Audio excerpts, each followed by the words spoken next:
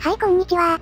電気袋図で目指せ新王チャンピオン、残すはラスボスの白な戦のみとなりました。ここまで長かったですね。大体ウプ主の投稿ペースが遅すぎるのが原因ですが。それに関しては本当に申し訳ない。ほらそうこう言っている間にチャンピオンの部屋に着きましたよ。新王ポケモンリーグチャンピオン白な。ポケモントレーナーの最高峰。独り占めとかそういうのダメよ。全力で君と戦います。時に美しく、時に力強く。その強さはまさに、歴代最強。何突然恥ずかしいこと言い出すんですかというか毎回ネタが古すぎるんだよそれ何年前の動画だと思ってんだよ。似たようなネタばかりじゃなくて最新のトレンドも取り入れなさいよ。おにょーん。さあ最終決戦スタートね。こちらの先発は壁張り役の口中よ。火力が低いけどフルアタのミカルゲを起点にするわ。中さんは聖種族地でもしっかり役割を果たしてくれていますね。殴ってもダメージを期待できないからサポートに徹してもらうことにしたわ。さあ悪巧み3回詰めたから攻撃に移るわよ。まずはミカルゲをワンパン。続いて地面タイプのトリトドンの4倍の草結びで一撃よ。ここまでは順調そうですね。だけど次に出てくるロズレードが一つ目の難関よ。こっちの攻撃は全て半減だからね。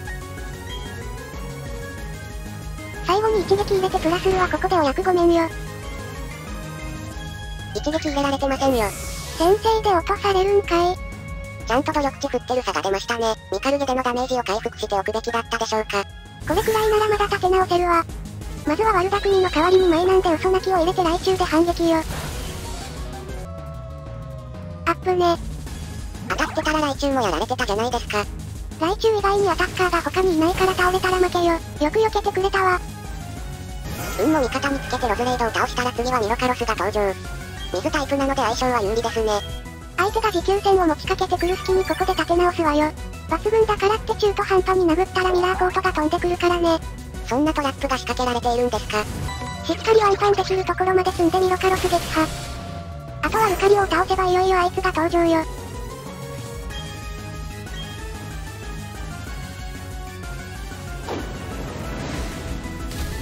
は？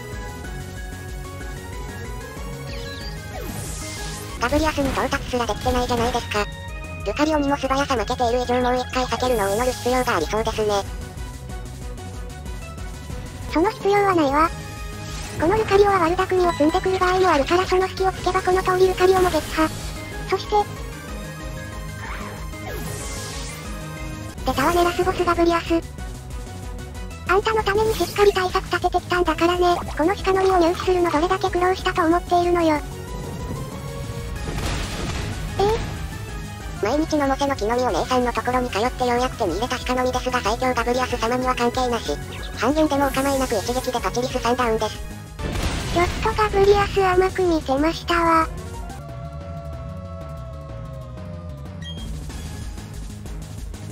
仕方ないできればこれは使いたくなかったけれど今できる行動がこれしかないからね。持っている不思議なアメ5個をパチリスに食べさせるわ。それで自信を耐えられるようになってくれれば良いですが。やっぱりダメでした。パチリスでダメなら来中のレベルを上げるわ素早さが逆転すれば何かが起きるはず。逆転していないから何も起きません。どうやら今のままでは絶対に勝てないようねここは素直に諦めて出直してくるわ。ここでは取れる行動も限られていますからね。そんなわけで戻ってきました。適当に連れてきたミュウツーで四天王を倒したら手持ちを入れ替えられなくて結局電気袋図でもう一回戦うことになったわ。相手ごとに有利なパーティで挑めないように対策されてるんですね。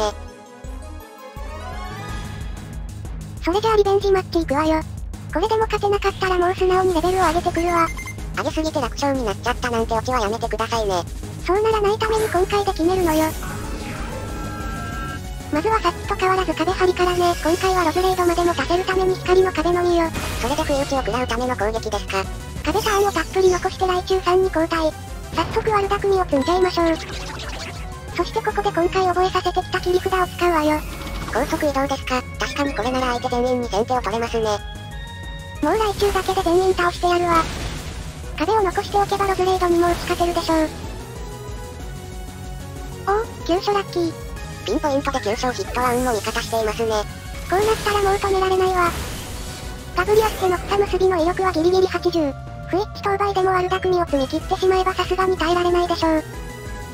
これで電気袋図が最強となるのよ。耐えられましたね。まだ諦めるには早い。こっちには地下中の電光石火がある。当然回復されますよ。あー。あ。待てよ。見つけたぞ突破口。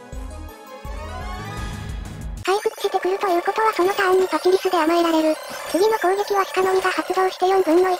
これなら十分耐えられるでしょう。そこでもう1回甘えてしまえば後続も耐えられるようになるじゃないの剣の前はどうするんですか？そんなのパチリスに死ぬまで甘え続けてもらうだけよ。いざとなったら甘えるの PP を増やすわ。できればそんな戦いになる前に決めていただきたい。やっぱりロズレイドは急所なしで落とせないか。ナイス回避。何気にミカルゲ戦で急所に食らいまくってたのが返ってきましたね。しかもこのダメージ結構いい感じなんじゃない？これは相手は回復を使ってきますね。ガブリアスの前に回復を使い切らせれるんじゃないですか。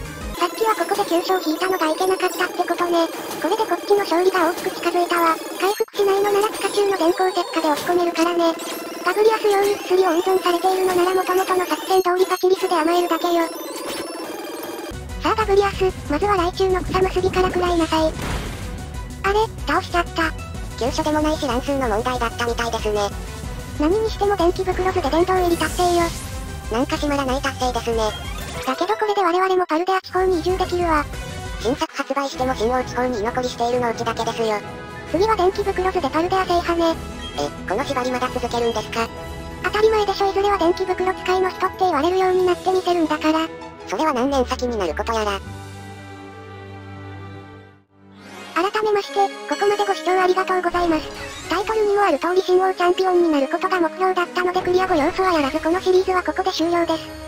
現状何も用意していませんがもちろん次回からスカーレット・バイオレット動画も上げていきますよ。さっきも言いましたが電気袋図でパルデア攻略もやるつもりです。縛り内容を見直したいのですぐ始められるかわからないですが年明けから SV 動画を投稿したいと考えています。年末はリアルの仕事が忙しくなりますので、約1ヶ月の遅刻をお許しください。そうでなくても月1ペースの投稿ですけどね。リアルと相談しつつ少しでも投稿ペースを上げれるように努力しますので見捨てずにお付き合いください。バイバーイ。